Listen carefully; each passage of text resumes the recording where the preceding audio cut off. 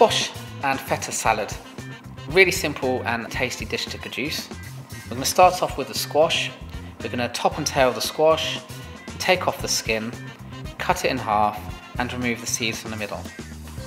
We're then going to dice this up, place it onto a baking tray, drizzle with a little olive oil, salt and pepper and some chili flakes. We're going to roast this off at about 150 degrees, which is about gas mark 2, for 30 to 45 minutes.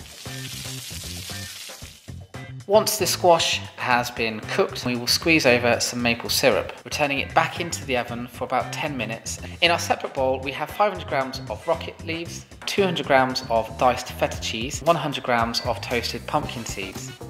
Mix these three ingredients together, and when the, the squash has cooled down completely, mix the squash in with the feta and the rocket. I've then also blitzed down some garlic, some maple syrup, a little bit of oil, salt and pepper into a little bit of a dressing.